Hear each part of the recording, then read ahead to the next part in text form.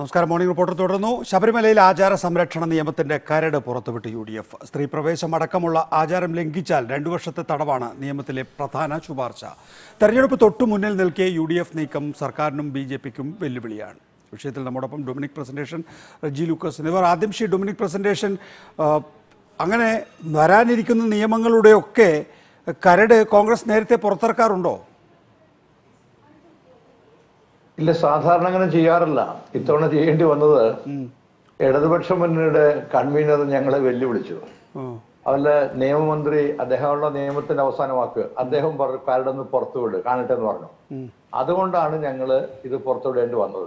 ഞങ്ങളൊരു വാശിക്കൊന്നുമല്ല കേന്ദ്രത്തിൽ B J പിയും വെല്ലുവിളിക്കുന്നുണ്ടായിരുന്നു. ജമ്മു കാശ്മീരിന്റെ പ്രത്യേക അവകാശം എടുത്തു കളഞ്ഞ നടപടി കോൺഗ്രസ് അധികാരത്തിൽ വന്നാൽ തിരിച്ചു കൊണ്ടുവരുമോ എന്ന്. അതായത് കോൺഗ്രസ് അധികാരത്തിൽ വന്നാൽ ജമ്മു കാശ്മീരിന് പ്രത്യേകാധികാരം എടുത്തു കളഞ്ഞത് തിരികെ കൊണ്ടുവരുമോ എന്ന്. ഒന്നും മറുപടി പറയാറില്ല. അല്ല അതങ്ങനെ അത് സമയം അത് ആ സമയത്ത് വന്നാൽ പറഞ്ഞാൽ മതിയല്ലോ. പിന്നെ എത്ര കൊല്ലമുണ്ട്? ഇനി മൂന്ന് കൊല്ലം കൂടുതൽ കിടപ്പില്ലേ ലോക്സഭ ഇലക്ഷൻ ഒരു കരടല്ലേ? അത് നേരത്തെ ഇരിക്കട്ടെ ആളുകളുടെ കയ്യിൽ അല്ല അത് വേണ്ട. ഇപ്പൊ ഇവിടെ ഇടതുപക്ഷം ബി ജെ പി വെട്ടിലായി. അതിന്റെ വിഷമല്ലേ ഇപ്പൊ അവർക്കുള്ളത്? ശരി ഷിറജി ലുക്കോസ് ഇത് ബി ജെ പിയെ മാത്രമല്ല എൽ ഡി എഫിനെയും വെട്ടിലാക്കുന്നുണ്ടോ? അല്ല കേരളീയ ഗുഡ് മോർണിംഗ് നികേഷ്. കേരളീയ പൊതുസമൂഹത്തിന് മുമ്പിൽ ഒരു അപരിഷ്കൃത അന്ധവിശ്വാസ കൂട്ടമായി കോൺഗ്രസ്സുകാർ മാറിക്കഴിഞ്ഞു. ഇപ്പോൾ എന്തിന്റെ പേരിലാണ് ഇവരിങ്ങനെ ഒരു നിയമത്തിന്റെ കരടുമായിട്ട് വന്നിരിക്കുന്നത്? ഞങ്ങൾ കോട്ടയക്കാർക്ക് ഏറെ ദുഃഖമുണ്ട്. കാരണം അക്ഷരനഗരിയാണ് കോട്ടയം. എനിക്കത് പറയാതിരിക്കാൻ പറ്റത്തില്ല ഈ ചർച്ചയിൽ. അതായത് കോട്ടയത്താണെങ്കിലും പത്രസമ്മേളനത്തിലൂടെ ബഹുമാനപ്പെട്ട കോട്ടയത്തിന്റെ പ്രതിനിധി പിന്നെ തിരുവഞ്ചൂർ രാധാകൃഷ്ണനാണ് ഈ കരട് ഇന്നലെ പത്രസമ്മേളനത്തിൽ അവതരിപ്പിച്ചത്. കോട്ടയം ചരിത്രപരമായ രീതിയിൽ തന്നെ വളരെ. അതൊക്കെ അവിടെ നിൽക്കട്ടെ. സി പി എം ഇക്കാര്യത്തിൽ വെട്ടിലായിട്ടുണ്ടോ ഇല്ലയോ? നേരത്തെ ഉള്ള നിലപാടിൽ നിന്ന് അല്പം വ്യത്യാസപ്പെടുത്തേണ്ടി വന്നിട്ടുണ്ടോ എന്ന കാര്യത്തിൽ ഒരു തർക്കവും ഇല്ലല്ലോ. അല്ല ഞാൻ പറയട്ടെ സി പി എമ്മിനകത്ത് ഇങ്ങനെ വെട്ടിലാക്കുന്നത്. ഇത് പിന്നെ ഏഴംഗ ഭരണ പിന്നെ ഭരണഘടനാ ബെഞ്ചിന്റെ പരിഗണനയിലിരിക്കുന്ന ഒരു കേസിൽ ഇപ്പോൾ ഇവർ ഈ നിയമം കൊണ്ടുവരുമെന്ന് പറയുന്നതിനകത്ത് എന്ത് അർത്ഥമുള്ളത്? തന്നെയല്ല ഇന്ത്യയുടെ സുപ്രീം കോടതിയെ ഓവർകം ചെയ്തുകൊണ്ട് ഇവർക്ക് ഇനി ഒരു നിയമം പാസ്സാക്കാൻ പറ്റും. ഇവരിനി അധികാരത്തിൽ വന്നു വരുന്നു വരാൻ സാധ്യതയുണ്ടെന്ന് വിദൂരമായ ഒരു സങ്കല്പത്തിൽ പോലും അവരെ കൊണ്ട് സാധിക്കും. അസാധ്യമായ കാര്യം. അപ്പൊ എന്താണ്? കേരളത്തിൽ ഒരു പ്രശ്നങ്ങളും ഇല്ലാതെ കൊണ്ട് സമാന അന്തരീക്ഷത്തിൽ പോകുന്ന കേരളത്തിൽ ഇന്ന് ഈ സർക്കാരിനെതിരെ എന്തെങ്കിലും ചൂണ്ടിക്കാണിക്കാനുള്ള ഒരു വിഷയദാരിദ്ര്യം വന്നപ്പോൾ സ്വാഭാവികമായിട്ടും എന്തെങ്കിലും നേട്ടം ഉണ്ടാക്കാമെന്നുള്ള പ്രതീക്ഷയിൽ ലോകത്ത് ഒരു രാജ്യത്തും ഇല്ലാത്തൊരു നിയമമായിട്ട് വരാനായിട്ടുള്ള ഒരു ശ്രമമാണ് ഇവർ നടത്തിക്കൊണ്ടിരിക്കുന്നത്. സുപ്രീം കോടതി വിധിക്കെതിരെ നമുക്കോ അല്ലെങ്കിൽ കേന്ദ്ര സർക്കാരിനോ നിയമം നിർമ്മിക്കാൻ പാടില്ല എന്നൊന്നുമില്ല. അത് സാധുവാണോ അല്ലയോ എന്ന് സംബന്ധിച്ച് സ്വാഭാവികമായും സംശയമുണ്ടാകും. സാധുവായിക്കൊള്ളട്ടെ അല്ലാതായിക്കൊള്ളട്ടെ രണ്ടിനും നമുക്ക് കീഴ്വഴക്കങ്ങളുണ്ട്.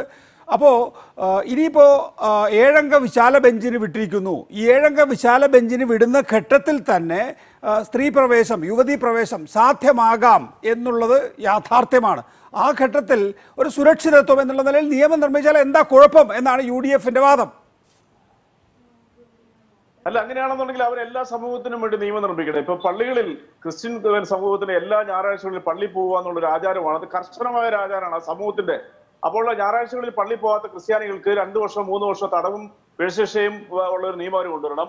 മുസ്ലിം സഹോദരങ്ങൾ ഇപ്പൊ വെള്ളിയാഴ്ചകളിൽ നിസ്കരിക്കണം എന്നുള്ളതും പള്ളികളിൽ പോയി പ്രാർത്ഥിക്കണം എന്നുള്ള നിയമമാണ്.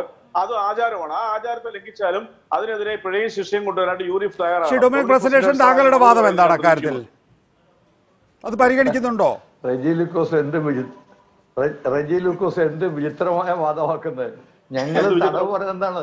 ഞങ്ങൾ പറഞ്ഞത് അവിടുത്തെ ആചാരം ലംഘിച്ച് അവിടെ പോകുന്നവർക്ക പറഞ്ഞിരിക്കുന്നത്. അല്ലാതെ പള്ളിയിൽ പോകുന്ന പോകാത്ത ഇഷ്ടമുണ്ടെ പോയിട്ട് അവിടെ ഇഷ്ടമുണ്ടെ പോയി. പക്ഷെ അവിടെ അതൊരു പ്രത്യേക ഡയറ്റിയുടെ സംരക്ഷണം ഉള്ളതുകൊണ്ട് അവിടുത്തെ ആചാരാനുഷ്ഠാനങ്ങൾ അനുസരിച്ച് ഈ പതിനെട്ടിനും അമ്പതിനും ഇടയ്ക്കുള്ള സ്ത്രീകൾ അവിടെ പ്രവേശിക്കാൻ പാടില്ല. അങ്ങനെ പ്രവേശിച്ചാൽ മാത്രം ഞങ്ങൾ പറഞ്ഞിരിക്കുന്നത്. അല്ലാതെ വേറെ പ്രശ്നമൊന്നും പറ്റില്ല അത് പള്ളിപ്പോക്കും മുസ്ലിം പള്ളിപ്പോക്കും യാതൊരു ബന്ധമില്ല അതൊക്കെ നിവൃത്തി നിവൃത്തിയേട് കൊണ്ട് രജലിക്കോസ് പറയുന്ന എന്താ പറയാ ഒരു വളരെ ഫ്ലിംസി ആയിട്ടുള്ള ആർഗ്യുമെന്റ് അതല്ലല്ലോ ഇതിനകത്ത് പറഞ്ഞിരിക്കുന്നത്. ഞങ്ങൾ പറഞ്ഞിരിക്കുന്നത് പതിറ്റാണ്ടുകളായി അവിടെ ഒരു ആചാരമുണ്ട്. അതായത് ഈ സ്ത്രീകളുടെ ആ ഒരു പീരീഡിൽ അവർ പോകാൻ പാടില്ല. അതാണ് ആചാരം. പത്ത് വയസ്സ് താഴെ മുകൾ ഒമ്പതിന് മുകളിൽ മുള്ളവർക്ക് കയറാൻ പാടുള്ളൂ. അത് സുപ്രീം കോടതിയുടെ വിധി വഴി അതിന് ഭംഗം ഉണ്ടായി. പിന്നെ ഇവിടെ ഒരു കാര്യം പറയണം. ഇപ്പൊ നമ്മുടെ യാക്കോബായ സഭക്കാർ വലിയ സമരം നടത്തണല്ലോ? എന്താണ് സർക്കാർ ആവശ്യപ്പെടുന്നത്? നിയമനിർമ്മാണം വേണമെന്നല്ലേ? സർക്കാരൊന്നും മുന്നിട്ടില്ലല്ലോ ഇതേ ആർഗ്യുമെന്റ് നിങ്ങൾക്ക് തന്നെ ബാധകമല്ലേ? അങ്ങനെ എന്തുകൊണ്ട് മുഖ്യമന്ത്രി അല്ലെങ്കിൽ എൽ ഡി എഫ് അറിയുന്നില്ല? നിങ്ങളെ സമരത്തിന്റെ കാര്യമില്ല. സുപ്രീം കോടതി വിധിയാണെന്ന് പറഞ്ഞ പറയുന്നുണ്ടില്ലല്ലോ പല വിധികളും വരുമ്പോഴേക്കും പ്രായോഗികമായി ചിന്തിക്കേണ്ടി വരും. ഈ വിധി എന്ന് പറയുന്നത് മനുഷ്യർക്ക് വേണ്ടിയല്ലേ? പക്ഷേ ശ്രീ ഡൊമിനിക് പ്രസന്റേഷൻ ഇതിനകത്ത് നിങ്ങളുടെ ഒരു എന്താ പറയുക ശബരിമല മുഖ്യ വിഷയമായി ഉയർത്തിക്കൊണ്ടുവരണമെന്ന ധ്രുവീകരണ ചിന്ത വളരെ പ്രകടമല്ലേ ശ്രീ ഡൊമിനിക് പ്രസന്റേഷൻ? സാധാരണഗതിയിൽ ഇന്ത്യയുടെ ചരിത്രത്തിൽ എപ്പോഴെങ്കിലും യു ഡി എഫോ കോൺഗ്രസോ ദേശീയ തലത്തിൽ ഒരു കരട് മുന്നിൽ കൊണ്ടുവന്ന് ഇതൊരു പ്രകടന പത്രികയാണ് ശബരിമല ഉയർത്താനുള്ള പ്രകടന പത്രികയായിട്ടാണ് നിങ്ങൾ ഈ വിഷയത്തെ ഉപയോഗിക്കുന്നത് എന്നുള്ളത് നിങ്ങളുടെ ഇപ്പോഴത്തെ അവസ്ഥയല്ലേ ബോധ്യപ്പെടുത്തുന്നത് ശ്രീ ഡൊമിനിക് പ്രസന്റേഷൻ? ഒരിക്കലും അല്ലല്ലോ. ഞങ്ങൾ പലതരത്തിലുള്ള മാനിഫെസ്റ്റോയിലേക്ക് കൊണ്ടുവരുന്നുണ്ട്. ഇപ്പൊ തന്നെ ഇന്നലത്തെ അറിയാലോ ശശി തരൂർ ഇന്നലെ ട്രോണ്ടത്ത് ആരംഭിച്ചു.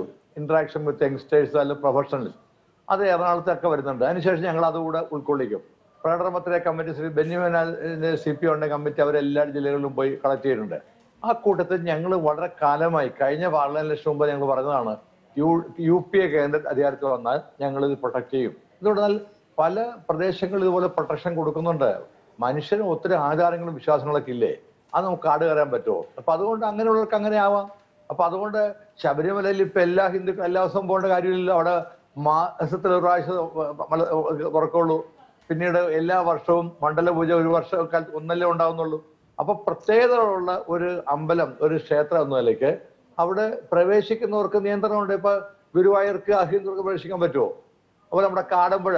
അവിടെ എഴുതി വെച്ചിരിക്കുന്നത് വെച്ചിരിക്കുന്നതിന് പ്രവേശനം എന്നാണ് അപ്പൊ ചില പ്രത്യേക സ്ഥലങ്ങളിൽ പ്രവേശിക്കാൻ സാധ്യമല്ല. ഗുരുവായൂർ അങ്ങേക്കറിയാലോ ഗുരുവായൂർ അഹി- അഹിന്ദുക്കളുടെ പ്രവേശനം ഉണ്ടോ ഇല്ലല്ലോ. പക്ഷേ നോക്കൂ വയലാർ രവി വയലാർ രവിയുടെ പേരക്കുട്ടിയുടെ ചോറൂണ് ഗുരുവായൂർ ക്ഷേത്രത്തിൽ നടന്നപ്പോൾ അത് എന്താ പുണ്യാഹം തെളിക്കുവോ? എന്തോ ചെയ്യുമല്ലോ ആ തെളിച്ചു കഴിഞ്ഞതിന് ശേഷം ഈ കേരളമാകെ ഒന്നിച്ചു നിന്നോ നമ്മളൊക്കെ നമ്മളൊക്കെ ഇപ്പോഴും ഓർക്കുന്നുണ്ട്. അങ്ങനെ ഒരു കോൺഗ്രസ് പാർട്ടിയാണ് വളരെ ചെറിയ കോടതി വിശദമായി പരിശോധിച്ചുകൊണ്ടിരിക്കുന്ന വിഷയത്തിൽ വളരെ കൃത്യമായ ഒരു നിയമ പരിശോധന നടക്കുന്ന വിഷയത്തിൽ കയറി ഇടപെടുന്നത് അതും ചില്ലറ വോട്ടിന് നാല് വോട്ടിന്. നാല് ഞാൻ ചോദിച്ചോട്ടെ ഇപ്പൊ നാല് വോട്ട് ഞങ്ങൾക്ക് പോയപ്പോ നിങ്ങളൊക്കെ എന്താ പറഞ്ഞത്? എൽ ഡി എഫ് ജയിച്ചു ഞങ്ങൾ തകർന്നല്ലേ പറഞ്ഞത്? അപ്പൊ നിങ്ങൾ ഇപ്പൊ നാലോട്ട് പറയുന്നത് ഞങ്ങൾക്ക് നാലോട്ട് കിട്ടാതിരിക്കാൻ വേണ്ടിയാണ്. ഞങ്ങൾക്ക് നാലോട്ട് കുറഞ്ഞപ്പോ എന്തായിരുന്നു ഇവിടെ ബഹളം? നികേഷ് ഉൾപ്പെടെ യു ഡി എഫ് തകർന്നിരിക്കുന്നു. രക്ഷയില്ല. അപ്പൊ ഞങ്ങൾ നാലോട്ട് തിരിച്ചു പിടിക്കാൻ വേണ്ടി മതി.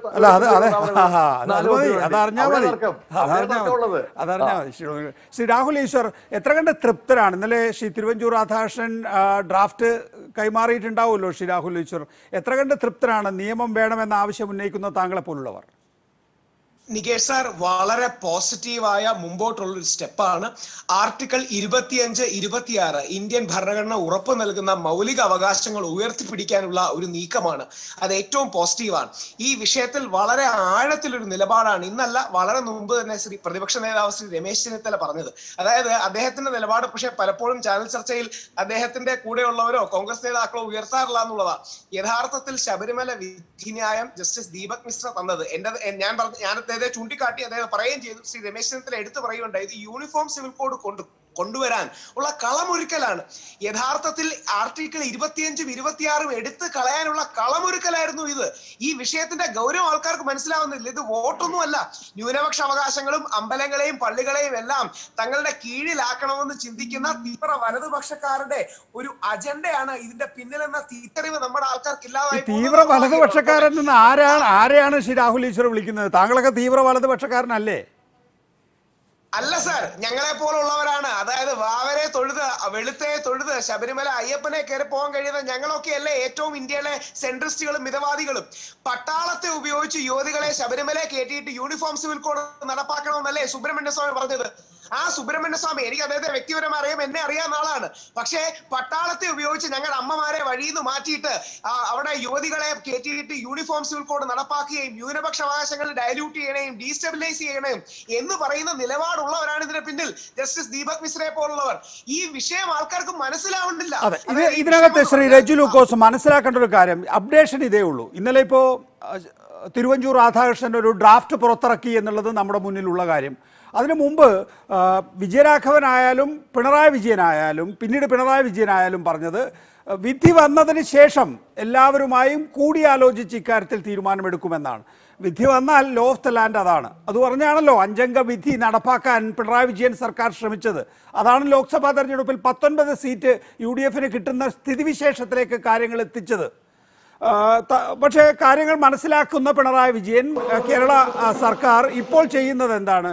വിധി വന്നതിന് ശേഷം എല്ലാവരുമായും കൂടിയാലോചിച്ച് ഇക്കാര്യത്തിൽ പറ്റിയ വീഴ്ച എന്താണ് എന്ന് മാർക്സിസ്റ്റ് പാർട്ടി മനസ്സിലാക്കുന്നുണ്ടാകുമോ ശ്രീ റജി ലൂക്കോസ്? അല്ല ഇവിടെ നമ്മൾ മനസ്സിലാക്കേണ്ടത് ഇപ്പോൾ ഈ അസമയത്ത് ഇവർ ഈ- കരട് ബില്ലുമായിട്ട് വന്നതിന്റെ വസ്തുത അത് ശ്രീ ഡൊമിനിക് പ്രസന്റേഷൻ പറഞ്ഞല്ലോ. ഞങ്ങൾ കഴിഞ്ഞ തെരഞ്ഞെടുപ്പിൽ തോറ്റു. അപ്പോൾ നിങ്ങളെല്ലാം പറഞ്ഞു ഞങ്ങൾ തോറ്റു എന്ന്. ഞങ്ങൾക്ക് വോട്ട് കുറഞ്ഞത് മാനേജ് ചെയ്യാൻ ഞങ്ങൾ ചെയ്യണ്ടേ? അല്ല അത് തീർച്ചയായിട്ടും അവർക്ക് മാനേജ് ചെയ്യാൻ പറ്റും. പക്ഷെ അതിനിങ്ങനെ ഒരു അന്ധവിശ്വാസ അപരിഷ്കൃത നിയമം കൊണ്ടുവന്നു ഏതാണ് അന്ധവിശ്വാസം? അങ്ങനെയാണെങ്കിൽ താങ്കൾ മാർക്സിസ്റ്റ് പാർട്ടിയുടെ വാദമാണ് ഇവിടെ ഉന്നയിക്കുന്നതെങ്കിൽ ശബരിമലയിലെ ആചാരമാണോ ഈ അന്ധവിശ്വാസം? മര്യാദയ്ക്ക് സംസാരിക്കണം. മറ്റൊരു അല്ല, മറ്റൊരു എന്നെ- ഈശ്വര വിശ്വാസ സമുദായത്തെ കുറ്റം പറയാണ്. നികേഷ് സാർ അല്ല. മര്യാദയ്ക്ക് സംസാരിക്കാൻ പറയണം. അല്ലല്ല മറ്റൊരു വിശ്വാസം എന്നല്ല ഇത് നമ്മളൊരു നമ്മളൊരു ജനാധിപത്യത്തിലാണ് നിൽക്കുന്നത്. പറഞ്ഞോളൂ.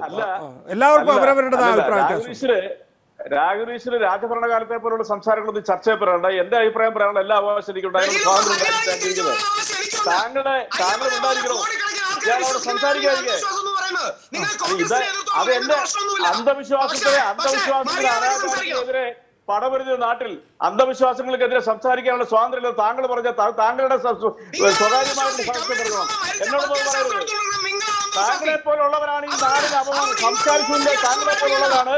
രാഹുൽ രാഹുൽ രാഹുൽ രാഹുൽ രാഹുലിന്റെ വികാരം രാഹുൽ പ്രകടിപ്പിച്ചു കഴിഞ്ഞു. ഇനി റെജി ലൂക്കോസ് പറയട്ടെ. റെജി ലൂക്കോസ് പറയട്ടെ. അല്ല മഹാത്മാഗാന്ധി വൈക്കത്ത് വന്നു. വൈക്കത്ത് ക്ഷേത്രപ്രവേശനത്തിന് വേണ്ടി സമരം ചെയ്തൊരു നാട്ടിൽ അന്ധവിശ്വാസത്തിനെതിരെ സംസാരിക്കാൻ പാടില്ലെന്ന് പറയാനായിട്ട് താങ്കൾക്ക് ആരധികാരം തന്നു. താങ്കൾ എന്താ എന്നെ വെല്ലുവിളിക്കുന്നത്? താങ്കളോട് സംസാരിക്കാറില്ലേ ഞാൻ സംസാരിക്കും താങ്കൾ ഉണ്ടായിരിക്കുള്ളൂ. വേണ്ട നമുക്ക് അങ്ങനെ അങ്ങനെ ഒരു അങ്ങനെ ഒരു അവസ്ഥയിലേക്ക് പോകണ്ട. അങ്ങനെ ഒരു അവസ്ഥയിലേക്ക് പോകണ്ട ശ്രീ രാഹുൽ ഈശ്വർ. രാഹുൽ ഈശ്വർ അദ്ദേഹം പറയട്ടെ. എനിക്ക് അഭിമാനമുണ്ട്. താങ്കളെ പോലുള്ളവരുടെ അഭിപ്രായത്തിലല്ല ഞാൻ ഇവിടെ ഇരിക്കുന്നത്. ഞാൻ നികേഷ് കുമാർ ക്ഷണിച്ചിട്ടാണ് ഈ ചർച്ച ഇരിക്കുന്നത് പറഞ്ഞോളൂ. താങ്കൾ ആദ്യം മനസ്സിലാക്കുക. അപ്പൊ അതുകൊണ്ട് താങ്കൾ എന്നെ എന്നെ വെല്ലുവിളിക്കാനെന്ന് താങ്കൾ വരണ്ട. താങ്കളെ പോലുള്ളവരുടെ വെല്ലുവിളികൾ കേരളം കുറെ കേട്ടതാ. അതിനുള്ള ശിക്ഷ താങ്കൾക്ക് കിട്ടിയിട്ടുണ്ട്. അതുകൊണ്ട് സംസ്കാര ശൂന്യതയ്ക്ക് പറയാനായിട്ട് പഠിപ്പിക്കണ്ട അതൊക്കെ ഞങ്ങൾ തോറ്റോടാം ഞങ്ങൾ തോറ്റോടാം അതിന് പന്തളത്തെ അല്ല പിന്നെ തന്ത്രിമാരുടെ അല്ല ശിങ്കിരി പിടിക്കുന്ന താങ്കളുടെ താങ്കളുടെ വിലയിരുത്തൽ ഞങ്ങൾക്ക് വേണ്ട. ആയിരത്തി തൊള്ളായിരത്തി ഒന്നിലാണ് നിങ്ങൾ കേരളത്തിലെത്തിയിരിക്കുന്നത് ഞങ്ങളുടെ ആ ചരിത്രത്തിന്റെ മുഴുവനുണ്ട് അത് താങ്കൾ പറയണ്ട. ശബരിമല നിങ്ങളുടെ വീട്ടിൽ വെച്ചൊന്നുമല്ല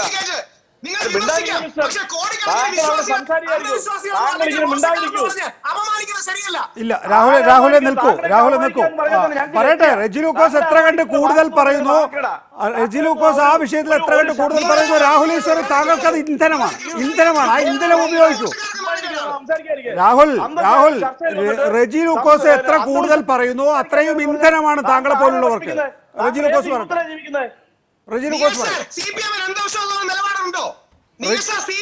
അല്ല അദ്ദേഹം അദ്ദേഹം സി പി എമ്മിന്റെ മെമ്പർ ആണോ എന്ന് എനിക്കറിയില്ല. ഒരു രാഷ്ട്രീയ നിരീക്ഷകൻ സി പി എം അനുഭാവി അല്ലെങ്കിൽ ഇടതു അനുഭാവി എനിക്കില്ലേ? പറയട്ടെ പറയട്ടെ. അതാണ് ഞാൻ പറഞ്ഞത്. രാഹുൽ രാഹുൽ ഇത്രേ നിങ്ങൾ ഇതിനെ കാണേണ്ടുള്ളൂ നിങ്ങൾ എന്തായാലും ഒരു വിഷയമാക്കി ഇതിനെ ഉയർത്തിയെടുക്കാൻ ശ്രമിക്കുന്നുണ്ടല്ലോ. റെജി ലൂക്കോസ് എന്ന ഇടതുപക്ഷ അനുഭാവി എന്തെങ്കിലും പറയുന്നത് നിങ്ങൾക്ക് ഇന്ധനമാക്കാൻ കഴിയുമെങ്കിൽ നിങ്ങൾ ആക്കിക്കോ. പക്ഷെ അത് തടസ്സപ്പെടുത്തിയാൽ പിന്നെ അങ്ങനെ പറയുന്നത് കേൾക്കാൻ പറ്റില്ല. ശ്രീ റെജി ലൂക്കോസ് പറഞ്ഞോളൂ. നിങ്ങൾ ആദ്യമായിട്ട് സഹിഷ്ണുത കാണിക്കേ. ഞാൻ അന്ധവിശ്വാസത്തിനെതിരെ സംസാരിച്ചതിനെ നിങ്ങൾ എതിർക്കുന്നത് എനിക്ക് അത്ഭുതമായി തോന്നി. കാരണം ഏതാണ് അന്ധവിശ്വാസം? ശ്രീ റെജി ലൂക്കോസ് ഇനി എന്റെ ചോദ്യങ്ങൾക്ക് മറുപടി പറയൂ. ഏതാണ് അന്ധവിശ്വാസം? ആചാരം അന്ധവിശ്വാസമാണോ? അല്ല ഞാൻ അന്ധവിശ്വാസത്തെ കുറിച്ച് പറഞ്ഞത് ഈ പറയുന്ന ശബരിമല പ്രവേശനത്തെ കുറിച്ചല്ല അത് അയാൾ കേട്ടത് തെറ്റാ. ഞാൻ ഡൊമിനിക് സാർ കൊടുത്ത മറുപടി അത്.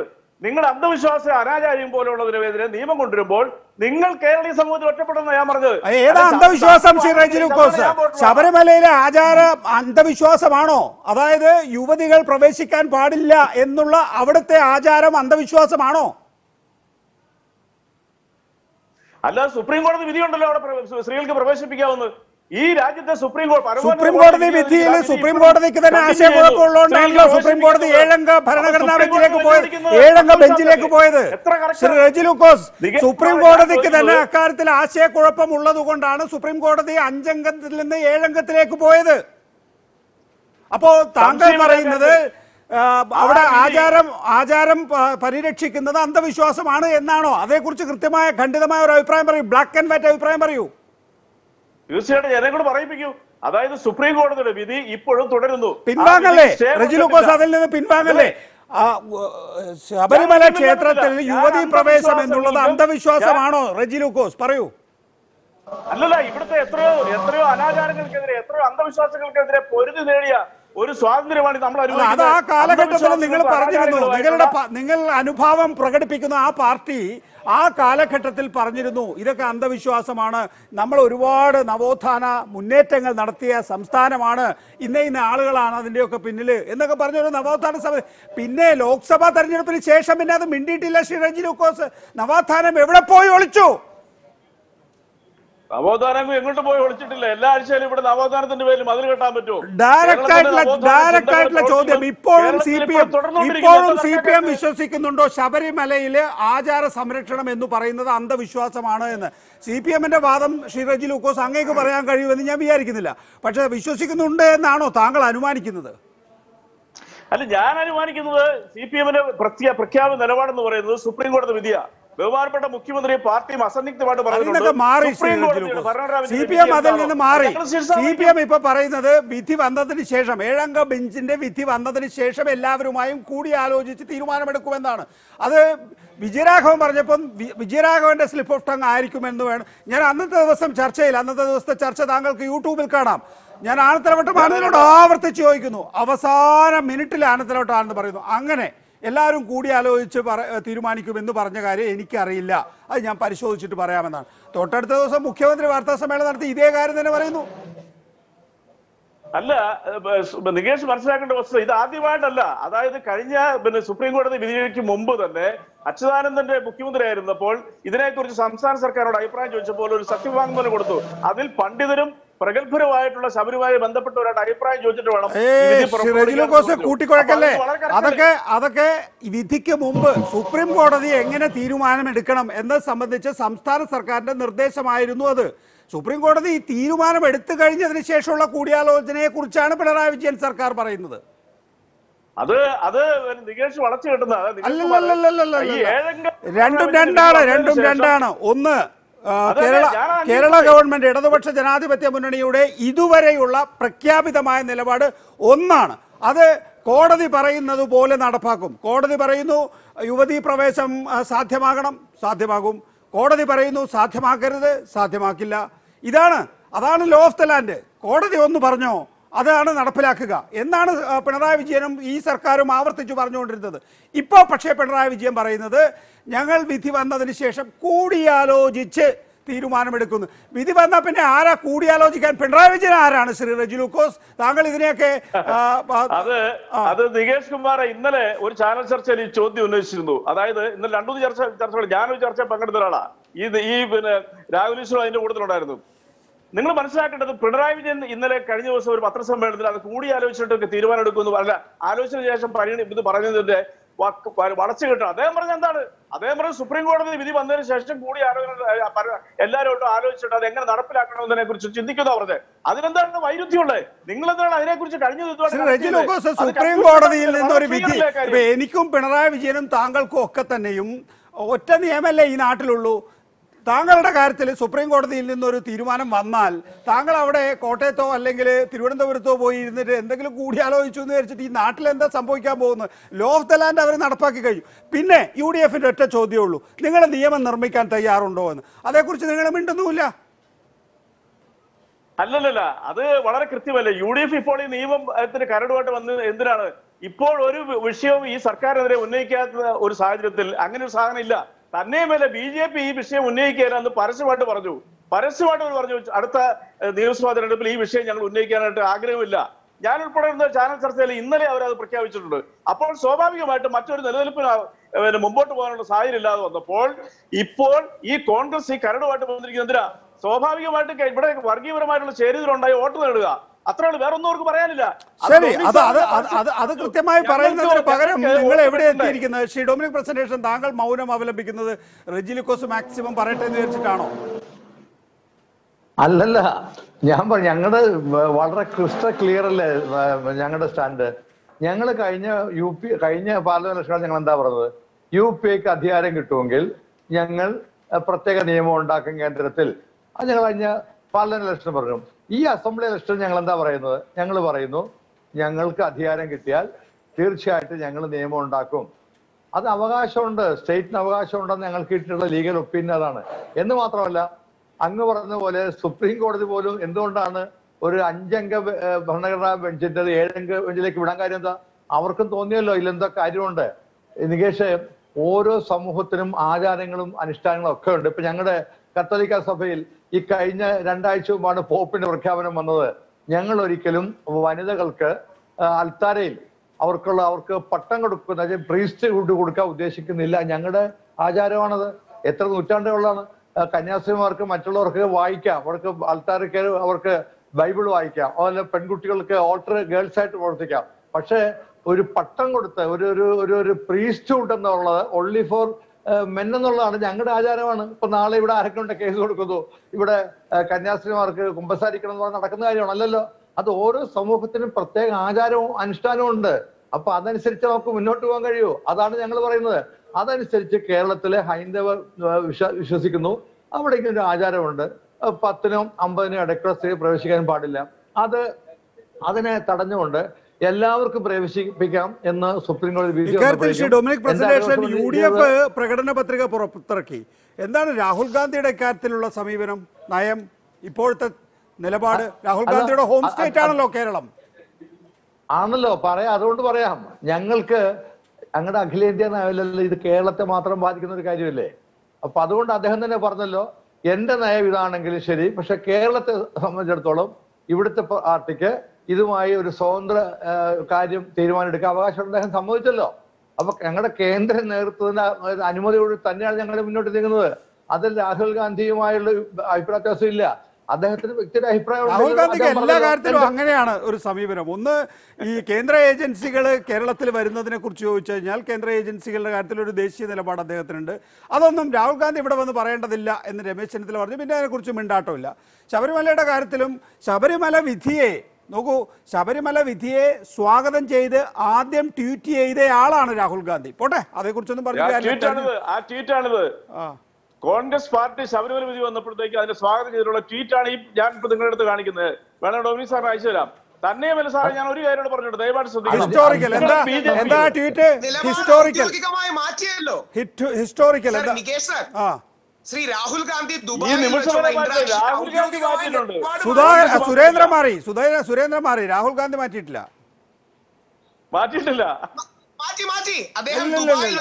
കേരളത്തിലെ. കേരളത്തിലെ നിങ്ങൾ എന്താന്ന് വെച്ചാൽ ആയിക്കോ എന്ന് എന്നോട് പറഞ്ഞു എന്ന് ഇവിടെ മുല്ലപ്പള്ളി വന്ന് പറഞ്ഞിട്ടുണ്ട്. മുല്ലപ്പള്ളി വന്ന് പറഞ്ഞിട്ടുണ്ട്. അത്രേ സംഭവിച്ചിട്ടുണ്ട് പറയും. ശ്രീ രാഹുൽ ഈശ്വർ ഇതിനകത്തുള്ള ഒരു പ്രധാനപ്പെട്ട പ്രശ്നം ഇതെങ്ങനെയെങ്കിലും എന്ത് വില കൊടുത്താണെങ്കിലും നിയമസഭാ തെരഞ്ഞെടുപ്പിൽ ഒരു വിഷയമാക്കി കിട്ടണം. അതുകൊണ്ട് രാഹുൽ ക്ഷമിക്കണം രാഹുൽ ഈശ്വറിന്റെ സഹായം ഡൊമിനിക്ക ഡൊമിനിക് പ്രസന്റേഷന്റെ പാർട്ടി ആഗ്രഹിക്കുന്നു. ഒന്ന് സഹായിച്ചു കൊടുക്കണം.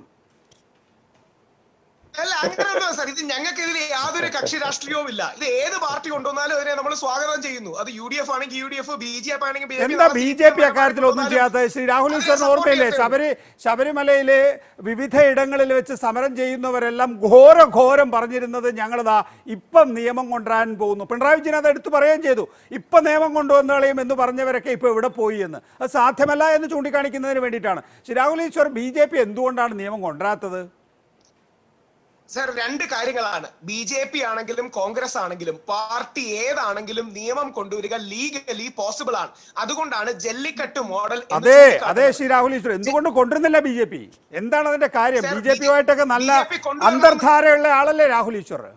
ആ ബി ജെ പി സാർ അല്ല ബി ജെ പി കൊണ്ടുവരുമെന്ന് അല്ലെങ്കിൽ ബി ജെ പി അല്ലെങ്കിൽ കോൺഗ്രസ് കൊണ്ടുവരാത്തതിന്റെ റീസൺ കൂടി ഞാൻ പറയാം. അതായത് ശ്രീ നരേന്ദ്രമോദി എ എൻ ഐക്ക് നൽകിയ ഇന്റർവ്യൂവിൽ പൂജനീയ സർസംഘാലക് ഡോക്ടർ മോഹൻ ഭഗവത്ത് ദുബായിൽ വെച്ചുള്ള ഇന്ററാക്ഷൻ ശ്രീ രാഹുൽ ഗാന്ധി ശശി തരൂർ സാറിനോട് ഞാൻ വ്യക്തിപരമായി സംസാരിച്ചിരുന്നു. അദ്ദേഹം ആദ്യം മറ്റൊരു നിലപാടായിരുന്നു. പക്ഷെ കാര്യങ്ങൾ ചൂണ്ടിക്കാട്ടിയപ്പോൾ അദ്ദേഹത്തിന് മനസ്സിലായി. നികേഷ് സാറിന്റെ പരിപാടിയിൽ ഇരുന്നല്ലേ ശ്രീ ടി ജി മോഹൻദാസ് എന്നെ ചീത്ത വിളിച്ചത്? ഇവനെ പോലുള്ള പിന്തിരിപ്പമാര് കാരണമാണ് ശബരിമല സ്ത്രീകൾ കയറാത്തതെന്ന്. അദ്ദേഹം അടക്കം ശബരിമല സ്ത്രീകൾ കയറണമെന്ന് വാദിക്കുന്നവരല്ലേ? ആർ എസ് എസ് ആകെ അങ്ങനെ വാദിക്കുന്നവരായിരുന്നു. ആണ്. ഇതിപ്പോ നേരത്തെ രാഹുൽ ഗാന്ധിയുടെ കാര്യം പറഞ്ഞതാണ്. ഇവിടെ നാല് വോട്ടും രണ്ട് സീറ്റും കിട്ടും എന്ന് വിചാരിച്ച് അതിന് വഴങ്ങുന്നു എന്ന് മാത്രം ഇപ്പോഴും ആർ എസ് എസിന്റെ വാദം എന്ന് പറയുന്നത് വലിയൊരു ഭൂരി വലിയൊരു വിഭാഗം ഉണ്ടല്ലോ സ്ത്രീകൾ യുവതികളായിട്ടുള്ള ആളുകൾ. അവരൊക്കെ തന്നെയും അമ്പലത്തിലേക്ക് അല്ലെങ്കിൽ ദേവാലയങ്ങളിലേക്ക് കടന്നു ചെല്ലണം എന്നുള്ള ആഗ്രഹമാണ് ആർ എസ് എസിനെ സംബന്ധിച്ചിടത്തോളം അന്നും ഇന്നും എന്നും ഉള്ളത്. സാർ ആ നിലപാട് മാറ്റാൻ വേണ്ടിയാണ് ഞങ്ങൾ വസ്തുതകൾ ചൂണ്ടിക്കാണിച്ചത്. എനിക്കൊരു മുപ്പത് സെക്കൻഡ് തരണം. അതായത് ഇത് ശരിക്കും വിശ്വാസവും ആചാരവുമല്ല കുറെ കൂടെ ഫണ്ടമെന്റൽ ആണ്. ആർട്ടിക്കിൾ ഇരുപത്തിയഞ്ചും ഇരുപത്തിയാറും ഉറപ്പ് നൽകുന്ന നമ്മുടെ ലോയിൽ മാത്രമുള്ള സവിശേഷതയാണ് D T right Thiruvanchoor Radhakrishnan sir പുറത്തുവിട്ട അവരുടെ കരട് രേഖയിലും ഈ പോയിന്റ് ഉണ്ട്. അതായത് ഡി ടി റൈറ്റ് ആണ് ഇതിലെ കോർ ഞങ്ങൾ ദേശവ്യാപകമായി തന്നെ ഡി ടി റൈറ്റ് പറയുന്നുണ്ട്. ഈ D T right constitutional right ആണ്. അതായത് അങ്ങയ്ക്കും എനിക്കും ഇവിടെ ഇരിക്കുന്ന റെജി ലൂക്കോസ്റ്റിക്കും അല്ലെങ്കിൽ ഡൊമിനിക് പ്രസന്റേഷൻ സാറിനും അക്കൗണ്ട് തുടങ്ങാം. ക്രയവിക്രയങ്ങൾ നടത്താം എന്ന് പറയുന്നത് പോലെ ദേവതയ്ക്കും ഇന്ത്യൻ ഭരണഘടന അവകാശം നൽകുന്നുണ്ട്. ആ ഡി ടി റൈറ്റിനെ ഡയല്യൂട്ട് ചെയ്യുകയാണ് യഥാർത്ഥത്തിൽ ജസ്റ്റിസ് ദീപക് മിശ്രയുടെ നേതൃത്വത്തിലുള്ള വിധി തന്നത്. ഇത് ഭരണഘടന ആർട്ടിക്കിൾ ഇരുപത്തിയഞ്ച് ഞങ്ങൾക്ക് തരുന്ന മൗലികമായ റൈറ്റ് ആണ്. ഈ റൈറ്റിന് മേളിലാണ് ഇത്തരത്തിലൊരു നിലപാട് കൊണ്ടുവന്നത്. അവിടെയാണ് ഞങ്ങളെ പോലുള്ള സാധാരണ വിശ്വാസികൾ കോൺഗ്രസ് ആകട്ടെ ബി ജെ പി ആകട്ടെ ആര് വേണമെങ്കിൽ കൊണ്ടുവന്നോട്ടെ. അവിടെയാണ് ഞങ്ങൾ ദേശീയ നേതൃത്വത്തിലുള്ള എല്ലാ പാർട്ടിയുടെ നേതാക്കളും ചൂണ്ടിക്കാണിച്ചു. യൂണിഫോം സിവിൽ കോഡിന് വേണ്ടി ബലി കൊടുക്കാൻ കഴിയുന്ന ഒരു സാധനം സാധനമല്ല ശബരിമല. ബാക്കിയുള്ളവർക്ക് അവരുടേതായ അജണ്ടകൾ കാണണം. പക്ഷേ ഡി ടിസ് റൈറ്റ് ഭരണഘടന. എന്തിനാ? രാമജന്മഭൂമി വിഷയം നോക്കൂ. ശ്രീരാമൻ എന്ന ഡി ടിക്കാണ് ആ സ്ഥലം കൊടുത്തിരിക്കുന്നത്. നമ്മുടെ ഗുരുവായൂരപ്പന് അല്ലെങ്കിൽ ഈ ഡി ടിസ് റൈറ്റ് ഉണ്ട്. ഇതിനെ ഡയലൂട്ട് ചെയ്താൽ ഈ രാജ്യത്തെ അമ്പലങ്ങൾ മുഴുവൻ ഡീസ്റ്റബിലൈസ്ഡ് ആകും. അതോടൊപ്പം ആർട്ടിക്കിൾ ഇരുപത്തിയഞ്ച് ഡീസ്റ്റബിലൈസ്ഡ് ആയാൽ ഇരുപത്തിയഞ്ച് ഇരുപത്തിയാറ് ഡീസ്റ്റബിലൈസ്ഡ് ആയാൽ ക്രിസ്ത്യൻ പള്ളികളും മുസ്ലിം പള്ളികൾക്കും ഒക്കെ അഫക്റ്റഡ് ആകും. അവിടെയാണ് ഞങ്ങൾക്ക് എതിരഭിപ്രായങ്ങളെ എല്ലാം സ്വാഗതാർഹമാണ്. സ്വീകരിക്കുന്നു ബഹുമാനിക്കുന്നു.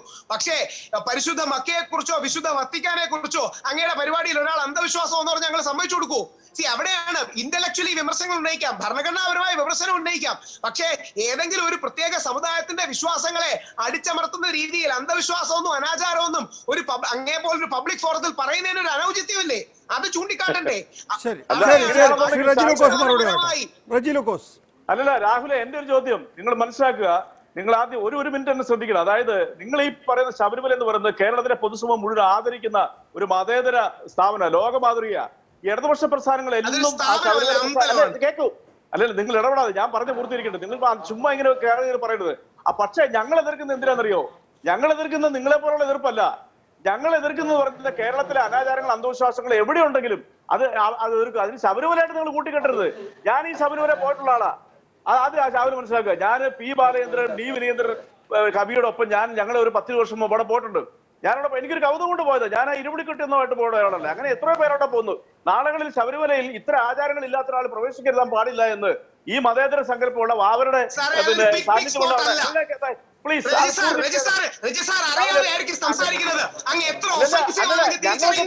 പറയുന്ന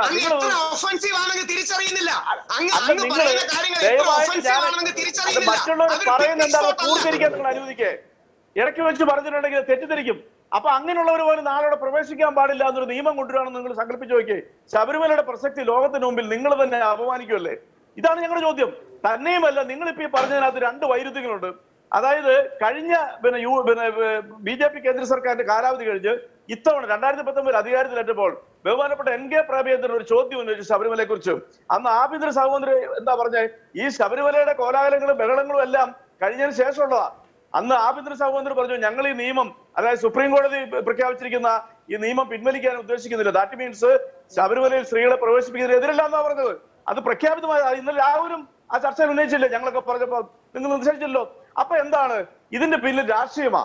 ശബരിമല പോലെയുള്ള പരിപാവനമായിട്ടുള്ള ഒരു സ്ഥലത്തെ അപമാനിച്ചുകൊണ്ട് രാഷ്ട്രീയപരമായ നേട്ടത്തിന് വേണ്ടി മാത്രമുള്ളതാണെന്നാണ് ഞങ്ങൾ പറയുന്നത്. അത് ശരി. തന്നെയാണ് മുഖ്യമന്ത്രി അത്തരം തർക്കങ്ങളിലേക്ക് ഇനി പോയിട്ട് കാര്യമില്ല. നമ്മുടെ വിഷയം ഇപ്പോ നിയമത്തിന്റെ draft Shri Dominic Presentation B J പിയെ സംബന്ധിച്ചിടത്തോളം ഉത്തരവാദിത്വമുണ്ട് കേന്ദ്രത്തിൽ ഭരിക്കുന്നുണ്ട്. എൽ ഡി എഫിനെ സംബന്ധിച്ചിടത്തോളം കേരളത്തിലെങ്കിലും അവർ ഭരിക്കുന്നുണ്ട്. നിങ്ങളെ സംബന്ധിച്ചിടത്തോളം ഒരു പണിയില്ലാതെ നിൽക്കുകയാണ്. അപ്പോൾ പിന്നെ എന്തും ചെയ്യാം എന്നുള്ള ഒരു നിരുത്തരവാദപരമായ സമീപനം എന്ന ലാഘവത്വം ഈ വിഷയത്തിൽ കാണില്ലേ ശ്രീ ഡൊമിനിക് പ്രസന്റേഷൻ ഒരിക്കലും ഇല്ല നികേഷ് ഞാൻ പറഞ്ഞല്ലോ. ഞങ്ങൾ രണ്ടായിരത്തി പത്തൊമ്പതിലെ ഇലക്ഷൻ ഞങ്ങൾ പറഞ്ഞില്ലേ? ഞങ്ങൾ പറഞ്ഞല്ലോ ഞങ്ങൾ യു പി അധികാരത്തിൽ വന്നാൽ ഞങ്ങൾ തീർച്ചയായിട്ടും അത് രാഹുൽ ഗാന്ധി എതിർത്തില്ലല്ലോ. ഞങ്ങൾ പറഞ്ഞു ഞങ്ങൾ നിയമം കൊണ്ടുവരും. ഇതൊരു പ്രത്യേക ജനവിഭാഗത്തിന്റെ വിശ്വാസം ആചാരമാണ്. രണ്ടായിരത്തി പത്തൊമ്പതിൽ നിങ്ങൾ എപ്പോ പറഞ്ഞു ആര് പറഞ്ഞു? ഡൊമിനിക് പ്രസന്റേഷൻ എപ്പോ പറഞ്ഞു ആര് പറഞ്ഞു? ഞങ്ങൾ കഴിഞ്ഞ ഞങ്ങൾ ഞങ്ങൾ കേരളത്തിൽ ഞങ്ങൾ പറഞ്ഞല്ലോ ഞങ്ങളുടെ നേതാക്കളുടെ പ്രസംഗം എടുത്ത് നോക്കൂ അങ്ങനെ നേതാക്കളുടെ പ്രസംഗമൊന്നും അല്ലല്ലോ രണ്ടായിരത്തി പത്തൊമ്പത് ലോക്സഭാ തെരഞ്ഞെടുപ്പിൽ നിങ്ങൾ ജനങ്ങൾ വോട്ട് ചെയ്യാൻ വേണ്ടി ഒരു പ്രകടന പത്രിക അടിച്ചിറക്കുന്നില്ലേ? ആ പ്രകടന പത്രികയിലുണ്ടോ അത് അല്ല അത് അത് ഓൾ ഇന്ത്യ പ്രകടന പത്രികയല്ലേ? ഓൾ ഇന്ത്യ പ്രകടന പത്രിക ഞങ്ങൾ ഞങ്ങൾ നികേഷൻ ഞങ്ങൾ കേരളത്തിൽ എന്നോട് പറഞ്ഞതാണ്. കേരളത്തിലെ എല്ലാ നേതാക്കളും പറഞ്ഞു. യു ഡി എഫ് ഒരുമിച്ച് ഞങ്ങൾ പറഞ്ഞു. ഇതാണ് ഈ ആത്മാർത്ഥത കുറവ്. ഞാൻ. ഞാൻ പറയുന്നതുകൊണ്ട് ഒഫൻസീവായി തോന്നരുത് ഷിഡുകൾ. ഇതൊരു ആത്മാർത്ഥത കുറവാണ്. ഞങ്ങൾ പറഞ്ഞു എന്ന് പറഞ്ഞാൽ സാധാരണഗതിയിൽ ഒരു തെരഞ്ഞെടുപ്പ് വാഗ്ദാനം പ്രകടന പത്രികയിലാണ്. രണ്ടായിരത്തി പത്തൊമ്പതിൽ നിങ്ങളുടെ പ്രകടന പത്രികയിൽ അതില്ല. ഇപ്പൊ നിങ്ങൾ രണ്ടായിരത്തി ഇരുപത്തി ഒന്നിലെത്തുമ്പോൾ നിങ്ങളത് ഉന്നയിച്ചിരുന്നു എന്നുള്ള കാര്യത്തിൽ തർക്കമൊന്നുമില്ല. കാരണം രണ്ടായിരത്തി ഇരുപത്തി ഒന്ന് ലോക്സഭ പത്തൊമ്പത് ലോക്സഭാ തെരഞ്ഞെടുപ്പ് ശബരിമലയെ കേന്ദ്രീകരിച്ചായിരുന്നല്ലോ. പക്ഷേ രണ്ടായിരത്തി ഇരുപത്തി ഒന്നാകുമ്പോഴേക്കും നിങ്ങൾക്ക് രണ്ടായിരത്തി പത്തൊമ്പതിലെ അതേ വിഷയങ്ങൾ തിരിച്ചു കൊണ്ടുവരണം എന്ന് വിചാരിച്ചിട്ടാണ് ഈ വിഷയത്തിലൊരു ഡ്രാഫ്റ്റുമായിട്ട് തിരുവഞ്ചൂർ രാധാകൃഷ്ണൻ കോട്ടയത്ത് ഇറങ്ങിയിരിക്കുന്നത്. ഷിഡോമിനി പ്രസന്റേഷൻ. ഇതൊക്കെ ഒരു ഒരു പ്രകടന പത്രികയിലെ ഭാഗമാക്കി കൊണ്ടുവരിക. എന്നിട്ട് ആ- പ്രകടന ശരി അങ്ങനെ അത് ഞങ്ങൾക്ക് അതിലേ പറയാൻ പറ്റുള്ളൂ. അതുകൊണ്ട് ഞങ്ങൾ പറഞ്ഞു ഞങ്ങൾ കേരളത്തിൽ പറഞ്ഞു ഞങ്ങൾ അധികാരത്തിൽ വന്നാൽ ഞങ്ങൾ തീർച്ചയായിട്ടും ഞങ്ങൾ ഇത് യു പി എ ഞങ്ങൾ ചെയ്യിക്കുമെന്ന് പറഞ്ഞു. ഇപ്പൊ സംസ്ഥാന ഇലക്ഷൻ അല്ലേ സോറി ഞങ്ങൾക്ക് പറയാനുള്ള പറയാനുള്ള അവകാശം ഉണ്ടല്ലോ ജനങ്ങൾ ചോദിക്കല്ലേ ചോദിക്കില്ലേ? അതുകൊണ്ട് ഞങ്ങൾ മാനിഫെസ്റ്റോ പെടുത്തുന്നു. ഞങ്ങൾ ഡ്രാഫ്റ്റ് ബില്ല് കൊണ്ടുവരുന്നു. അതെന്താ തെറ്റുള്ളത്? അത് ഇലക്ഷൻ ജയിക്കുന്നതിന് വേണ്ടി മാത്രമല്ല ഒന്ന് ശബരിമല ഒരു കേരള വിഷയമല്ല. ശബരിമല ഒരു കേരള വിഷയമല്ല. രാഹുൽ ഈശ്വർ മിണ്ടാതിരിക്കുന്നത് രാഹുൽ ഈശ്വർ ഈ വിഷയത്തിൽ നിങ്ങളുമായിട്ട് ഇങ്ങനെ കൂട്ടുചേർന്ന് നിൽക്കുന്നതുകൊണ്ടാണ്. ശബരിമല വിഷയം എങ്ങനെയാണ് കേരള വിഷയമാവുക കേരളത്തിൽ നിന്നുള്ളതിനേക്കാൾ കൂടുതൽ ഭക്തർ അവിടെ വരുന്നത് ആന്ധ്രാപ്രദേശിൽ നിന്നും തമിഴ്നാട്ടിൽ നിന്നും ഒക്കെയാണ്. അപ്പൊ ഇത് കേരള വിഷയമല്ല. രണ്ടായിരത്തി പത്തൊമ്പതിൽ ഇതൊരു കേരള വിഷയം ആയതുകൊണ്ടാണ് ഞങ്ങൾക്ക് ശബരിമല കേരളത്തിലല്ലേ? ശബരിമല കേരളത്തിലല്ലേ? കേരളത്തിലല്ലേ? തീർച്ചയായും സംസ്ഥാന ഗവൺമെന്റ് ഉണ്ടാക്കാൻ കഴിയും. എന്നുള്ള സംസ്ഥാന ഗവൺമെന്റിന് പരിധിയിൽപ്പെട്ട അതായത് സംസ്ഥാനത്ത് ഉള്ള ഒരു പ്രത്യേക വിശുദ്ധമായ അമ്പലമല്ലേ? അതുകൊണ്ടാണ് ഞങ്ങൾ ഇത് ചെയ്യാന്ന് പറഞ്ഞത്. അത് ഞങ്ങൾ വോട്ടിന് വേണ്ടി മാത്രമല്ല. രാഹുൽ രാഹുൽ രാഹുൽ ബി ജെ പിയുടെ ഒരു കൂട്ടുവിട്ട് യു ഡി എഫിനോടൊപ്പം ചേർന്നോ? സാർ ഞങ്ങൾക്ക് വിശ്വാസികൾക്ക് രാഷ്ട്രീയമില്ല. അവ രാഷ്ട്രീയമൊക്കെ കാണും. ശബരിമല വിഷയത്തിൽ രാഷ്ട്രീയമില്ല. ശബരിമല വിഷയത്തിൽ ഏറ്റവും പോസിറ്റീവായി ആര് നിലപാടെടുത്താലും അതിനെ സ്വാഗതം ചെയ്യണം. സാർ ഒരു കാര്യം ആലോചിച്ച് നോക്കൂ. ഈ വിഷയത്തിന് കക്ഷി രാഷ്ട്രീയ ഭേദമന്യേ ഈ പാർട്ടികളുടെ നിലപാട് വരുന്നതിന് മുമ്പും കയ്യും മെയ്യും മറന്നു നിന്ന എല്ലാ പാർട്ടിയിലെയും ആൾക്കാരില്ലേ? പ്രയാർ ഗോപാലകൃഷ്ണൻ സാറ് അജയ് തറയിൽ സാർ പോലുള്ളവർ കോൺഗ്രസിൽ നിന്ന് അല്ലെങ്കിൽ കുമ്മനം ചേട്ടനെ പോലുള്ള സുരേഷ് ഗോപിയെ പോലുള്ളവർ. അതായത് ഇവരുടെ പാർട്ടികൾ ഔദ്യോഗികമായി ശബരിമലയെ എതിർത്തിരുന്ന കാലത്ത് പോലും ഫുൾ സ്വിംഗ് ഇതിനു വേണ്ടി നിന്നു. എന്തിന്? പത്മകുമാർ സാർ. സാർ ഇപ്പൊ അങ്ങനെ പരിപാടി ഇപ്പൊ പറയുന്നത് ശരിയാണെന്ന് എനിക്കറിയില്ല. വിധി വന്നതിന്റെ അടുത്ത ദിവസം പത്മകുമാർ സാർ പൊട്ടിക്കരഞ്ഞ് അദ്ദേഹത്തിന്റെ മുറിയിൽ ഇരിക്കുകയാണ് ഞാൻ അദ്ദേഹത്തോട് വ്യക്തിപരമായി സംസാരിച്ചാണ്. അദ്ദേഹം പറഞ്ഞു എനിക്ക് ഒന്നും ചെയ്യാൻ കഴിയുന്നില്ല. എനിക്ക് എനിക്ക് എന്റെ പാർട്ടിയോട് വലിയ ലോയൽറ്റിയാണ് എനിക്ക് വിജയൻ ചേട്ടനെ വലിയ കാര്യമാണ്. പക്ഷേ എന്റെ ദൈവം അതായത് ഹരിവരാസനം എഴുതിയ കുടുംബത്തിൽ നിന്നാണ് പത്മകുമാർ സാർ വരുന്നത്. പക്ഷേ എനിക്ക് എന്ത് ചെയ്യാൻ കഴിയും? ഞാൻ ഹെൽപ്ലെസ് ആണ്. നിങ്ങൾ ആൾ കഴിയുന്ന ചെയ്യൂ എന്ന്. എത്രയോ സി പി എമ്മിന്റെ ആൾക്കാർ ഞങ്ങളെ സപ്പോർട്ട് ചെയ്തു. പ്രത്യേകിച്ച് പത്തനംതിട്ടയിലെ സി പി എംകാരൊക്കെ ഞങ്ങളെ ഏറ്റവും കൂടുതൽ ഞങ്ങളെ പ്രൊട്ടസ്റ്റ് ഓർഗനൈസ് ചെയ്യാൻ വരെ സപ്പോർട്ട് ചെയ്തിട്ടുണ്ട്. സി അവിടെയാണ് ഇത് കക്ഷി രാഷ്ട്രീയ വിഷയമാണ്. ഞങ്ങൾക്ക് എല്ലാം ഞങ്ങളുടെ രാഷ്ട്രീയ നിലപാട് കാണും. പക്ഷെ അയ്യപ്പനേക്കാൾ വലുതല്ല രാഷ്ട്രീയം. എല്ലാവർക്കും രാഷ്ട്രീയമുണ്ട്. അത് ഉപേക്ഷിച്ചുകൊണ്ടാണല്ലോ സി പി എമ്മിന്റെ നിലപാടിനെതിരെ കഴിഞ്ഞ ഇതിൽ പലരും വോട്ട് ചെയ്തത്. അപ്പൊ ഇവിടുത്തെ ഏക വിഷയം തമിഴ്നാട്ടിൽ ജല്ലിക്കെട്ടിൽ എല്ലാവരും ഒരുമിച്ചില്ലേ? സി പി എം അടക്കം ജല്ലിക്കെട്ടിനെ സപ്പോർട്ട് ചെയ്തു. കോൺഗ്രസും ബി ജെ പിയും സി പി എമ്മും എ ഡി എം കെയും ഡി എം കെയും ഒരുമിച്ച് ഒരു കാര്യം ചെയ്യാൻ തമിഴ്നാട്ടുകാർക്ക് പറ്റുമെങ്കിൽ നമ്മുടെ മലയാളികൾക്ക് എന്തുകൊണ്ട് പറ്റില്ല? ഒറ്റ കാര്യം ആലോചിച്ച് നോക്കൂ. ശബരിമല തമിഴ്നാട്ടിലാണെങ്കിൽ കണ്ണിലെ അല്ല ശ്രീ രാഹുൽ ഈശ്വർ ഇവിടെ ഇപ്പൊ എന്താ പ്രശ്നം? നമ്മളത് എന്തെങ്കിലും ഒരു പ്രശ്നം ഉയർത്തിക്കൊണ്ടുവന്ന് വർഗീയമായി വിഭജിച്ച് നാട്ടിൽ കുഴപ്പമുണ്ടാക്കാൻ ശ്രമിക്കുകയാണ്. ഞാൻ അടക്കമെന്ന് ഞാൻ വിചാരിക്കുകയാണ്. നോക്കൂ അഞ്ചംഗ ഭരണഘടനാ ബെഞ്ചിന്റെ വിധിക്ക് ശേഷം സുപ്രീം കോടതിയിൽ അക്കാര്യത്തിൽ ആശയക്കുഴപ്പം ഉണ്ടായതിനു ശേഷം സംസ്ഥാന സർക്കാർ ദേവസ്വം ബോർഡിനോട് അവിടെ യുവതി പ്രവേശം സാധ്യമാക്കേണ്ടതില്ല എന്നുള്ള തീരുമാനം അറിയിക്കുകയും അതിനുശേഷം ഒരു യുവതിയെയും അങ്ങോട്ടേക്ക് പ്രവേശിപ്പിക്കാൻ അനുവദിക്കുകയും ചെയ്തിട്ടില്ല. ഏതെങ്കിലും തരത്തിൽ പ്രായവ്യത്യാസം തോന്നുന്ന ആളുകളുടെ ഐഡന്റിറ്റി കാർഡ് പരിശോധിച്ച് പൂർണ ഉറപ്പ് വരുത്തിയതിന് ശേഷം മാത്രമാണ് ശബരിമലയിലേക്ക് പോകുന്നത്. അപ്പോൾ നിലവിലൊരു സ്ഥിതിയുമില്ല. പക്ഷേ അങ്ങനെ ഒരു സ്ഥിതി ഉണ്ടാകാൻ പാടില്ല. അതായത് സമാധാനപരമായ ഒരു സ്ഥിതി ഉണ്ടാകാൻ പാടില്ല. ഒരു കുഴപ്പം ഉണ്ടാകണമെന്നാണ് ഞാൻ രാഹുൽ ഈശ്വരൻ ഡൊമിനിക് പ്രസന്റേഷൻ റജി ലൂക്കോസ് എന്നിവർ വിചാരിക്കുന്നത്. അതിനു വേണ്ടിയിട്ടാണ് ഈ ചർച്ച. സാർ ഒറ്റ വരി മാത്രം. ഇതിനൊരു അവസാനം വേണ്ടേ സാർ? ഒരു ക്ലോസ് അവസാനത്തിലാണ് ഏഴംഗ ഭരണഘടനാ ബെഞ്ച്. ഏഴംഗ ഭരണഘടനാ ബെഞ്ച് അവസാനത്തിലാണ് അവിടെ അവിടെ അല്ലല്ല അവിടെ നമുക്ക് ഓർഡിനൻസും കൂടി ഉണ്ടെങ്കിൽ കുറെ കൂടെ സ്ട്രോങ് ആകില്ലേ ഭാഗം? ഉന്നത ഉന്നത കോടതിയുടെ ഉന്നത കോടതി വിധിയുടെ അടിസ്ഥാനത്തിൽ എക്സിക്യൂട്ടീവ് ഒരു തീരുമാനം എടുത്തു കഴിഞ്ഞാൽ പിന്നെ അതിന്റെ പുറത്ത് എന്തിനാണ് ഒരു ഒരു നിയമം അല്ലെങ്കിൽ ഓർഡിനൻസ് അല്ലല്ല സാർ അല്ല ഒരു വരി അത് നിയമപരമായി തന്നെ പറയാം. അതായത് ജല്ലിക്കെട്ടിലെ കാര്യത്തിൽ തമിഴ്നാടിന്റെ ഓർഡിനൻസ് സുപ്രീം കോടതി ചോദ്യം ചെയ്തു. അപ്പോൾ തമിഴ്നാട് പറഞ്ഞു ഞങ്ങൾ ഈ വിഷയത്തിൽ ഇടപെടുന്നില്ല. കരുണ മെഡിക്കൽ കോളേജിന്റെ കാര്യത്തിലൊക്കെ ഒഫൻസീവ് ആണ്. സുപ്രീം കോടതി ഒഫൻസീവ് ആണ് അതിന്. നിങ്ങൾ എടുത്ത് ദൂരെ കളഞ്ഞു. ചവറ്റുകൊട്ടയിലേക്ക് എറിഞ്ഞു. അപ്പൊ ചവറ്റുകൊട്ടയിലേക്ക് എറിയുമ്പോ അങ്ങനെ ഒരു. അങ്ങനെ അങ്ങനെ അങ്ങനെ ഒരു നോക്കൂ സാധാരണ വിധിയാണ്. സുപ്രീം കോടതിയുടെ സാധാരണ വിധിയായിരുന്നു ഏത്? കരുണാ മെഡിക്കൽ കോളേജുമായി ബന്ധപ്പെട്ട്. അത് തന്നെ ഒഫൻസീവാണ് എന്ന് പറഞ്ഞ് അവർ എടുത്തു ദൂരെ കളഞ്ഞു. നമ്മൾ എന്തിനാണ് സുപ്രീം കോടതിയെ പ്രവോക്കേണ്ട കാര്യം? ഒരിക്കലും ഒരിക്കലും പാടില്ല. പക്ഷെ സാർ ഒറ്റ വരി മാത്രം. ജല്ലിക്കെട്ടിലും സമാനമായ സംഭവം? ജല്ലിക്കെട്ടല്ല കരുണ ഇത്. ഇത് ഭരണഘടനാ ബെഞ്ചാണ് രാഹുൽ. ഭരണഘടനാ ബെഞ്ചാണ്. ചീഫ് ജസ്റ്റിസ് ഉൾപ്പെട്ട ഭരണഘടനാ ബെഞ്ച്. ഞാനാണ് സുപ്രീം കോടതി എങ്കിൽ എന്റെ ചീഫ് ജസ്റ്റിസ് ഉൾപ്പെട്ട ഒരു ഭരണഘടനാ ബെഞ്ച് പുറപ്പെടുവിച്ച വിധിക്കെതിരെ ഒരു സംസ്ഥാനം ഒരു ഓർഡിനൻസ് കൊണ്ട് ഓർഡിനൻസിനെ കുറിച്ചാണ് നിങ്ങൾ പറയുന്നത്. ഓർഡിനൻസിനെ കുറിച്ച്. പോട്ടെ നിയമനിർമ്മാണം തന്നെ ആയിക്കൊള്ളട്ടെ. അങ്ങനെ ആയാൽ അത് അതിന്റെ അർത്ഥം ഏത് തലത്തിലാണ് സുപ്രീം കോടതി വായിച്ചെടുക്കുക? നമ്മൾ പ്രൊവോക്ക് ചെയ്യണം സുപ്രീം കോടതിയെ. നമ്മൾ പോയി പ്രൊവോക്ക് ചെയ്യണം. നിങ്ങളുടെയൊക്കെ അഭിപ്രായം അതാണ്. നമ്മൾ പോയി സുപ്രീം കോടതിയെ പ്രൊവോക്ക് ചെയ്യണം. എന്നിട്ട് തിരിച്ച് യുവതി പ്രവേശത്തിലേക്ക് കാര്യങ്ങൾ കൊണ്ടുവരണം. സാർ ഒറ്റ കാര്യം. രണ്ട് വരി പറയാൻ ഒന്ന് വാവരസ്വാമിയെ തൊഴുതിട്ട് വെളുത്തയെ തൊഴുതിട്ട് ക്രിസ്ത്യാനിയായ വെളുത്തയും മുസ്ലിമായ വാവരെയും തൊഴുതിട്ട് ശബരിമലയിൽ പോകുന്നവരാണ് കോടിക്കണക്കിന് മനുഷ്യർ. അമ്പലത്തിനുള്ളിൽ ഒരു ഇസ്ലാമിക് ഷ്രൈൻ ഉണ്ട്. അതാണ് ശബരിമല. ആ ശബരിമലയാണോ വർഗീയം എന്ന് പറഞ്ഞു കൂട്ടിക്കെട്ടാൻ നോക്കുന്നത്? ഞാൻ പറഞ്ഞ ഞാൻ പറഞ്ഞ വിഷയത്തിലേക്ക് രാഹുൽ തൊടുന്നില്ല. രാഹുൽ വളരെ ബുദ്ധിമാനാണ്. രാഹുൽ വളരെ ബുദ്ധിമാനാണ്. ഞാൻ നേരത്തെ ബി ജെ പിയുമായി ബന്ധപ്പെട്ട ചോദ്യത്തിനൊന്നും രാഹുൽ മറുപടിയേ പറഞ്ഞിട്ടില്ല. ഇപ്പൊ നമ്മൾ ചെയ്യണമെന്ന് രാഹുൽ രാഹുലും ശ്രീ ഡൊമിനിക് പ്രസന്റേഷനും യു ഡി എഫ് ഇവിടെ ആവശ്യപ്പെടുന്നത് നമ്മൾ പോയി സുപ്രീം കോടതിയെ പ്രൊവോക്ക് ചെയ്യണം. ഇപ്പൊ ഒരു കുഴപ്പമില്ല. ഒരു കുഴപ്പമില്ല. വളരെ സമാധാനപരമായിട്ട് നടക്കും. നമ്മൾ പോയി സുപ്രീം കോടതിയെ പ്രൊവോക്ക് ചെയ്യണം. എന്നിട്ട് പഴയ യുവതി പ്രവേശം എങ്ങനെയെങ്കിലും പാടുണ്ടോ തിരിച്ചു എനിക്കറിയില്ല. കൊണ്ടുവരണം. നിയമത്തിൽ അതൊക്കെ ഉണ്ട്. നമ്മൾ നമ്മൾ നമ്മൾ ഒരു കോടതിയിൽ പോകുമ്പം ആ കോടതിയെ പ്രൊവോക്ക് ചെയ്യുന്ന എന്തെങ്കിലും ഉണ്ടെങ്കിൽ അത് ഒഴിവാക്കാതിരിക്കുക എന്നുള്ളതാണ്. പല അഭിഭാഷകരുമായിട്ടും ഡൊമിനിക് രാഹുൽ ഈശ്വർ താങ്കൾ സംസാരിച്ചിട്ടുണ്ടല്ലോ. പ്രൊവോക്ക് ചെയ്യാതിരിക്കുക. ഈ കാര്യം തുറന്നു പറയാൻ പാടുണ്ടോ എന്ന് എനിക്കറിയില്ല പക്ഷെ ഒരു കാര്യം പറയണം. അതായത് ശ്രീ ബോബ്ഡെ അനുകൂലമായ വിധി തരാനാണ് സാധ്യത. പക്ഷെ അടുത്ത ഒരു left liberal judge Shri Chandrachud വരികയും ഏറ്റവും കൂടുതൽ കാലം അദ്ദേഹമാണ് ചീഫ് ജസ്റ്റിസ് ആയിട്ട് ഇരിക്കാൻ പോകുന്നത്. അദ്ദേഹത്തിന്റെ നേതൃത്വത്തിലുള്ള ഒരു ബെഞ്ച് വരികയും എങ്ങനെ കേസ് മാറുമെന്ന് നമുക്ക് അറിയാൻ കഴിയും ബെഞ്ചിൽ എങ്ങനെയാണ് നേതൃത്വം? ബോബ്ഡെ മാറി ഇനി ചന്ദ്രചൂഡ് വന്നാലും ചന്ദ്രചൂടിന് ചന്ദ്രചൂഡിന് ഒരു വോട്ടേ ഉള്ളൂ. ചീഫ് ജസ്റ്റിസ് ആയിക്കോട്ടെ അല്ലാതിരിക്കട്ടെ. ഒറ്റ വോട്ടേ ഉള്ളൂ. ചന്ദ്രചൂഡിനെ പോലെ ഒരാൾ വരികയാണെങ്കിൽ അദ്ദേഹത്തിന്റെ സമീപനം അദ്ദേഹം ചന്ദ്രചൂട് നിലപാട് മാറ്റിയില്ലേ? ചന്ദ്രചൂട് നിലപാട് മാറ്റിയില്ലേ? ഇല്ല ചന്ദ്രചൂട് നിലപാട് മാറ്റിയില്ല. മാറ്റിയിട്ടില്ല. നിലപാട് മാറ്റിയിട്ടില്ല, മാറ്റിയിട്ടില്ല. മാത്രമാണ് നിലപാട് പക്ഷേ ചന്ദ്രചൂട് ചന്ദ്രചൂട് അടങ്ങുന്ന രണ്ടുപേരെ അവിടെ ഉള്ളൂ എന്ന് ആലോചിക്കണം. പുതിയ മൂന്ന് പേര് കൂടെ ആഡ് ചെയ്യാണ്. ആ. അതെ ചീഫ് ജസ്റ്റിസിന്റെ ബെഞ്ചിലേക്ക് വരുമ്പോൾ നമ്മൾ നമ്മുടെ കാര്യത്തിൽ റിസ്ക് നിങ്ങൾ ഇങ്ങനെ ആളുകളെ തെറ്റായ രീതിയിൽ ഒരു ജഡ്ജിന്റെ ഒക്കെ നിലപാട് പറഞ്ഞ ആളുകളെയൊക്കെ തെറ്റിദ്ധരിപ്പിച്ചിട്ട് ഇത് എന്ത് എന്ത് എന്ത് നാടാക്കി മാറ്റാനാണ് ശ്രമിക്കുന്നത്? അത് സത്യമല്ലേ? നികേഷ് സാർ ആലോചിച്ച് നോക്കൂ സത്യമല്ലേ? എന്തേ? താങ്കൾ പറയുന്നത് എന്താണ്? ഇപ്പൊ ഇപ്പൊ തന്നെ തെറ്റിദ്ധാരണാജനകമായ രീതിയിലാണ് ശ്രീ രാഹുൽ ഈശ്വർ താങ്കൾ സംസാരിച്ചത്. ഒന്ന് ചന്ദ്രചൂഡിന്റെ നേതൃത്വത്തിൽ ഒരു ബെഞ്ച് വന്നാൽ ചന്ദ്രചൂഡിന് എന്ത് സ്വാധീനം? ചീഫ് ജസ്റ്റിസിന് പറയാൻ പറ്റുമോ? ഞാൻ പറയുന്ന പോലെ വോട്ട് ചെയ്യണം.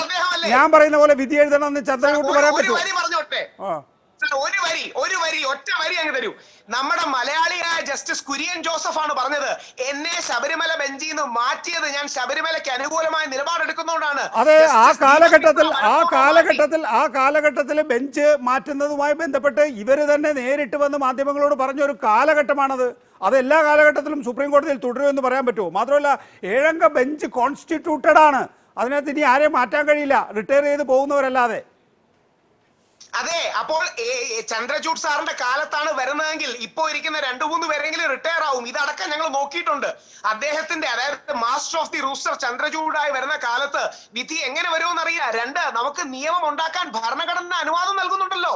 നമ്മൾ നോക്കൂ ജഡ്ജിമാരുടെ? പേരെടുത്ത് പറഞ്ഞിട്ടുള്ള ഒരു ചർച്ചയ്ക്കും എനിക്കൊരു ഉത്തരവാദിത്വമില്ല ഞാൻ അതിൽ നിന്നൊക്കെ പിൻവാങ്ങുന്നു. വളരെ നന്ദി ശ്രീ ആദരവേ ഉള്ളൂ. പക്ഷെ ഇതൊക്കെ സത്യങ്ങളല്ലേ? റെജി ലൂക്കോസ് ശ്രീ ഡൊമിനിക് പ്രസന്റേഷൻ ശ്രീ രാഹുൽ ഈശ്വർ നന്ദി. ശബരിമല വിഷയത്തിൽ ഇത്രയും പ്രതികരിച്ചതിന്.